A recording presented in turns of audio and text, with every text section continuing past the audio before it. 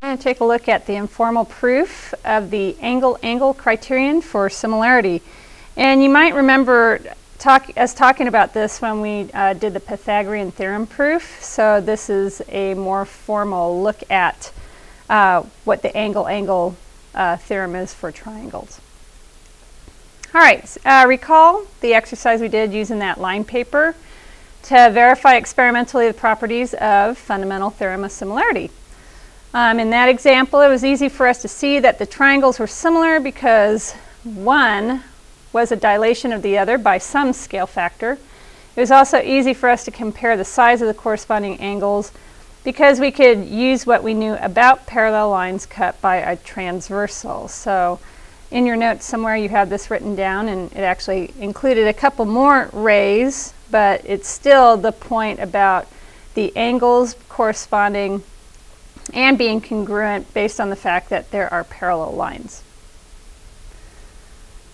All right, so our goal today is to show that we can say any two triangles with equal angles will be similar.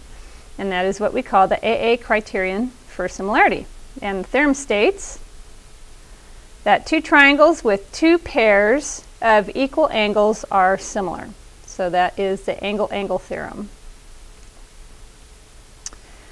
Notice that we only use AA instead of AAA because we only need to show that two of the three angles are equal in measure.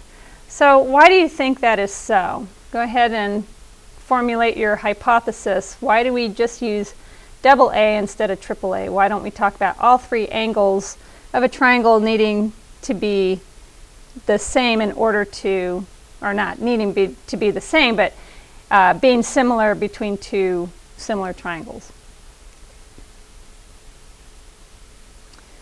All right, so your answer might have hopefully sounded like this.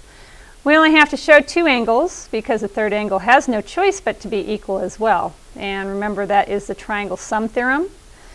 If you know that two pairs of corresponding angles are equal, uh, say they are 30 degrees and 90 degrees, then the third pair of corresponding angles has no choice but to be 60 degrees because the sum of all three angles must be 180 degrees. What other property do similar triangles have besides equal angles? You should know about this because it has to do with similarity in and of itself. Let's go ahead and write out your answer for that. Well, the lengths of their corresponding sides have to be equal in ratio or, as we say, proportional.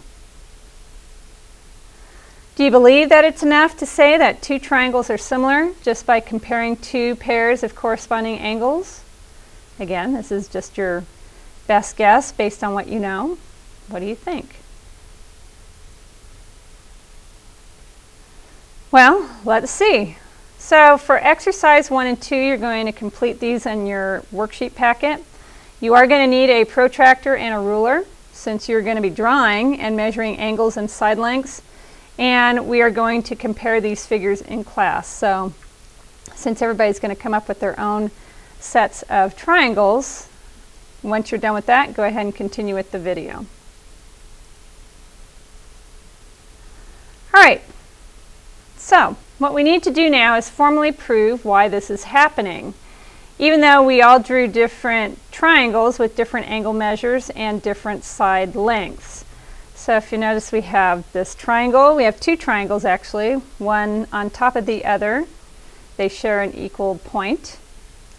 They also uh, kind of simulate a dilation of one triangle to another triangle. So we're going to begin with this special case. Suppose that A is equal to A prime and B prime and C prime lie on the rays of AB and AC respectively. And again, this is kind of the case of two overlapping triangles. So in this case, we are given that, and hopefully you copied this down. Otherwise, you're going to have to go back and forth between this slide and the next. But the angle measure of A prime, B prime, C prime is equal to the angle measure of ABC. And Conversely, the angle measure of B prime A prime C prime is equal to the angle measure of BAC. Notice that the latter is simply stating or saying that the angle is equal to itself because the, the prime angle and the original angle are in fact the same. So the fact that we have these two, this angle A prime, B prime, C prime, and ABC implies that B prime, C prime is going to be parallel to BC. Because corresponding angles are equal, then we know we have parallel lines, and that was from the module 2 when we talked about congruence. Now, if we let our scale factor, r, equal to the line length AB prime over AB, then the dilation from center A, now notice it's not center O, we've just replaced it with center A because that is one of the points on our triangle. With the scale factor means that the line length AB prime is equal to a scale factor times the line length of AB. And we know from our work in lessons 4 and 5 that the location of C prime is in a fixed location because the line length of AC prime is equal to the scale factor times the line length of AC. Therefore, the dilation of triangle ABC is exactly the triangle of A prime, B prime, C prime. So, after you have written that all down, go ahead and see if you can paraphrase that in your own words.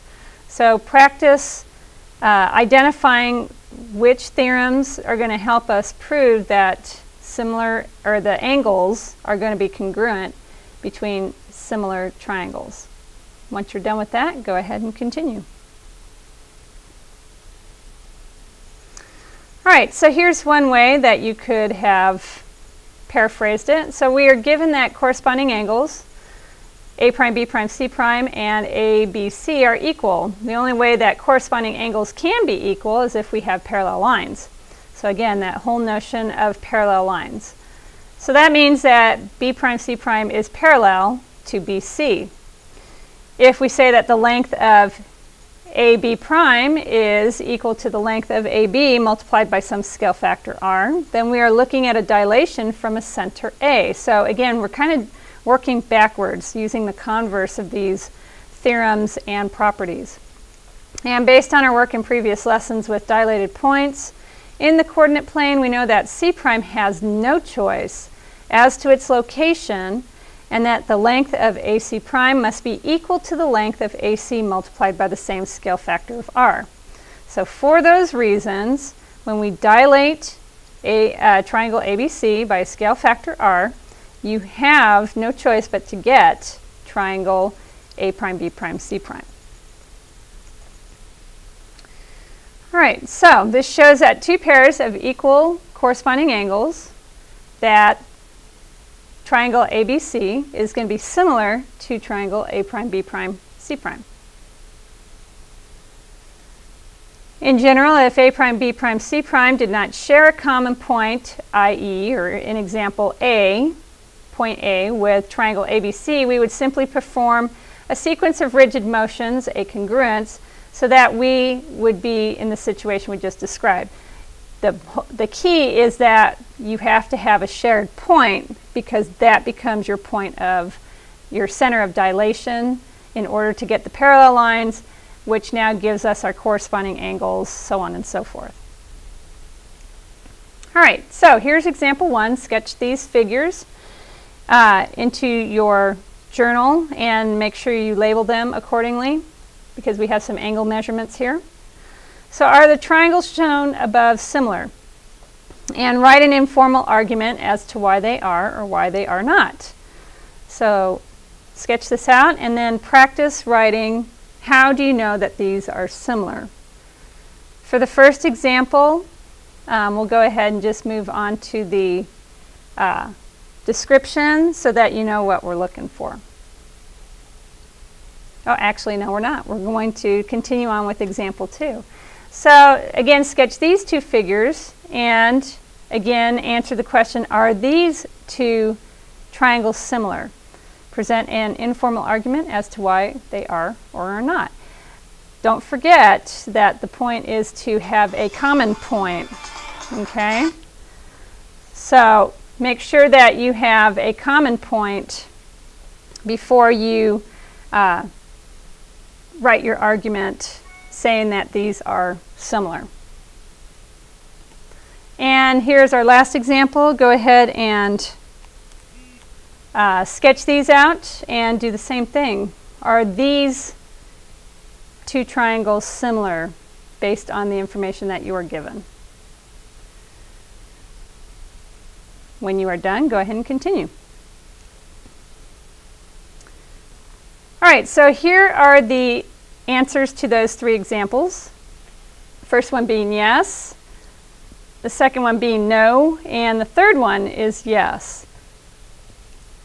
So make any adjustments or additions or revisions to your uh, informal arguments so that you can have those ready for our next set of exercises.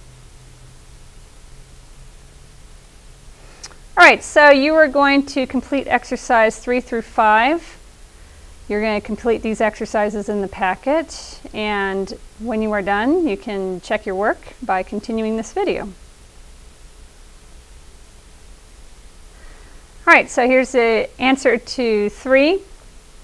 Uh, they are similar, and again, using the same language that we did on the examples. Here's the answer to number four. And the answer to number five. All right, so in summary, we understand a proof of why the angle-angle criterion is enough to state that two triangles are similar. The proof depends on our understanding of dilation, angle relationships of parallel lines, and congruence. So we need to talk about all three of those things to come up with the angle-angle criterion.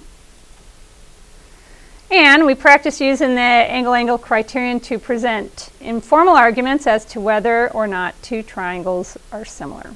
All right, we'll see you in class.